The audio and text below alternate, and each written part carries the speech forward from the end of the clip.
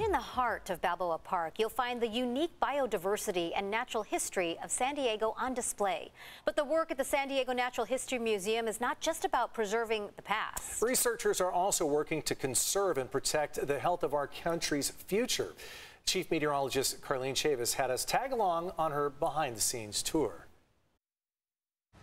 It is a hot summer day here in San Diego, but as soon as those temperatures drop, I will be in my favorite sweatshirt. But we're actually going to check out one of my favorite places here in San Diego County. And we're not just talking about the exhibits, we're also talking conservation with behind the scenes look.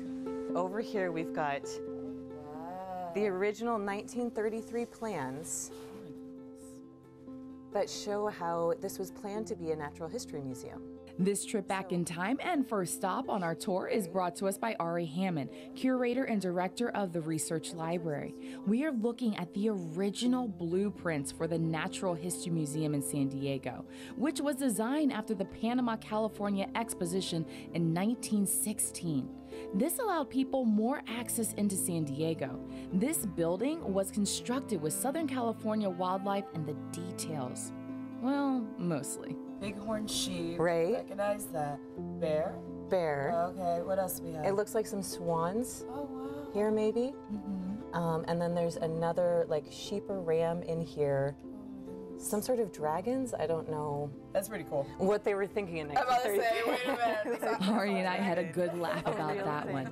But dragons are not. The original images of the earliest flora and fauna are captured on delicate glass behind the Research Library exhibit for now.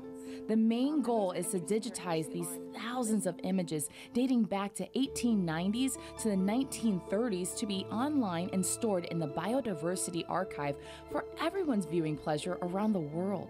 That is so cool. and how cool for conservation to see how things have changed over time. On our next stop, we are heading to the Department of Birds and Mammals for a show and tell with Philip Unitt, curator of this wing of the museum. From bats to birds, Philip details research findings of specimens relevant to Southern California, including the tricolor blackbird. So this species has now been designated as um, uh, endangered by the state of California just in what, the last two or three years? Environmental and industrial changes to their habitats have led to mite infestation and even strings being caught in their talons.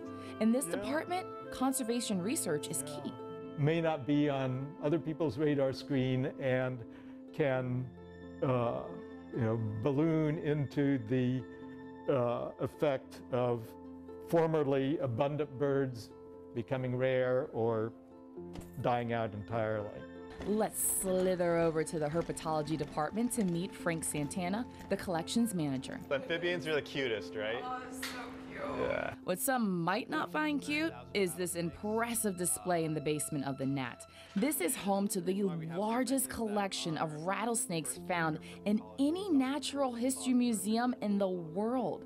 Over 9,000 specimens are located here, dating back to the early 1900s.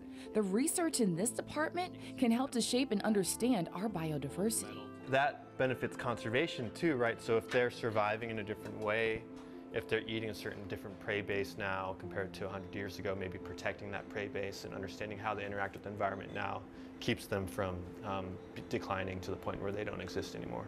From the future of our ecosystem to unearthing the past, Christopher Pluth, the lab manager of the paleontology department, showed me around the lab where every trace of natural history is important, from this tiny tooth to the research of ancient predators. These bad boys are reproductions which include a dire wolf already found in San Diego, but the search continues for more. Uh, There's a saber-toothed cat out in Anza-Borrego, so that's why we feel like it should be here, but we haven't found it yet. From fossils to ancient plants, and I mean ancient, this cobra lily is from 1876. Then the insect goes in this hole, it looks like a mouth, and they go down in here, but then they cannot go reverse because of the way the hairs are pointed. While I didn't have time to even look at a quarter of the 300,000 plant specimens stored away, Dr. Jon Rebman, curator of botany for the Nat, didn't let this Southwest girl leave without touching one of these prickly beauties. To bring it home, the exhibits at the Nat give you a look at the history of our ecosystem and biodiversity, but the research conducted by the team is also helping shed light on our future. People are going to be here and wilderness is going to be here too. So part of our work is very focused on making sure that those two things can coexist. Love to hear Cypress. Thanks for showing me around. For CBS 8, I'm Chief Meteorologist Carlene Chavis.